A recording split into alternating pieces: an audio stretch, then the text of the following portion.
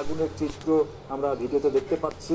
ঠিক তার বিপরীতে যতটুকু পানি দেওয়া হচ্ছে আসলে ঠিক কতটুকু কার্যকর হবে। রূপনগর বস্তিতে আবার আগুন। পর্যন্ত আমরা দেখতে পেয়েছি প্রায় দুই ঘণ্টার চেষ্টা। ফায়ার সার্ভিসের বলা যায় যে এসেছে সেটা এখনই বলা যাচ্ছে না। তবে চেষ্টা কমতি নেই তাদের যতটুকু সামর্থ্য রয়েছে তাদের যতটুকু সময় নিউজ থেকে লাইভ দেখানো হচ্ছে। নিয়েই কিন্তু তারা ঝাঁপিয়ে পড়েছেন আগুন নির্বাপনে। এবং স্থানীয়রা কিন্তু তাদের যার যার মতো করে সেখানে যোগ দিয়েছেন যতটুকু পারছেন সাহায্য সহযোগিতা করছেন আর কি।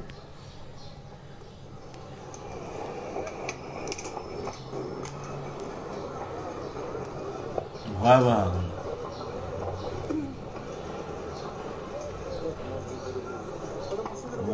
গড আল্লাহ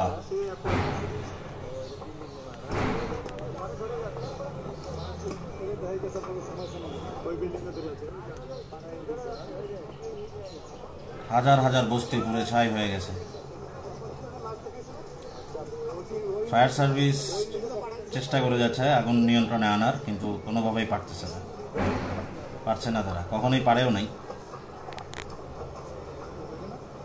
মুজিব বর্ষে এক অভূতপূর্ব উপহার। ফায়ার সার্ভিসে বাংলাদেশে ফায়ার সার্ভিস আর কোনোদিন মনে হয় উন্নয়ন হবে না উন্নতি হবে না এদের। এই আগুনের পরে কয়দিন চিল্লাচিল্লি হবে ফায়ার সার্ভিসের উন্নতি করা হোক ভালো ভালো ইকুইপমেন্ট আনা হোক তারপরে আবার ভুলে যাব।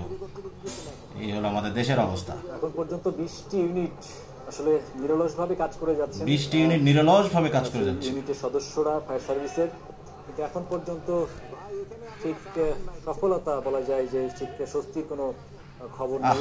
আগুন সব পুরো ছাই হয়ে কিন্তু ছড়িয়ে পড়েছে আশেপাশে যে ছোট বড় ভবন রয়েছে তার দু একটি ভবনে আমরা লক্ষ্য করেছি ছাদে কিন্তু একটি ছোট ভবনের ছাদে কিন্তু আগুন আমরা লক্ষ্য করেছি কিছুক্ষণ আগেই। এবং আগুনের যে তীব্রতা যে আজকে লাইভ নিউজ আমাদের চোখের সামনে সময় টিভি থেকে সরাসরি দেখানো হচ্ছে। রূপনগর ঢাকা রূপনগর মিরপুর রূপনগর বস্তি পুরে ছারখার হয়ে যাচ্ছে।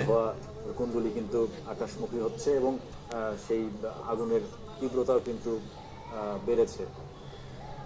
মিডিয়াগুলো নতুন একটা নিউজ পেল লাইভ টেলিকাস্ট করার আর কিছুই না। এছাড়া যেসব বিকল্প উপায় রয়েছে ফায়ার সার্ভিস হয়তো এসব বিষয়েও ভাববে যে পানির বিকল্প এখানে আর কি কি কাজ করতে পারে। যেহেতু পানির সরবরাহ বা পানির একটি অপ্রতুলতা রয়েছে যেহেতু প্রাকৃতিক কোনো প্রাণীর উৎস হয়তো এই অগ্নিকাণ্ড দুর্ঘটনা কবলিত এলাকায় আসলে আছে কিনা এখনও নিশ্চিত হয়ে যায়নি। তবে পানির যে যে পরিমাণ পানি ছিটানো হচ্ছে সেই পানি আগুনের তীব্রতার কাছে খুব বেশি অপ্রতুল মনে হচ্ছে সাধারণ চোখে। জি জি। সব পুরো যখন ছারখার হয়ে যাবে, তখন আগুন নিয়ন্ত্রণে আসবে।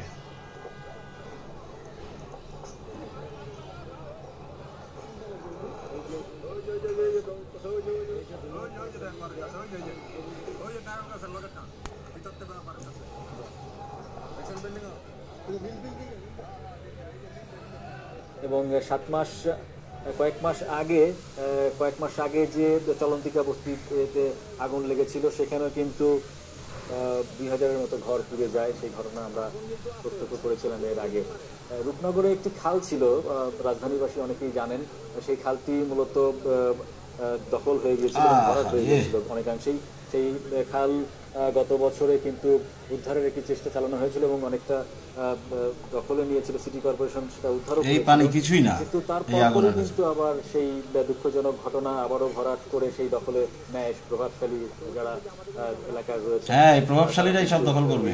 এ ধরনের খাল কিন্তু দখল হয় সেই প্রভাবশালী যারা দুর্বৃত্ত যারা রয়েছেন তাদের মাধ্যমে এবং এই প্রাকৃতিক যে খাল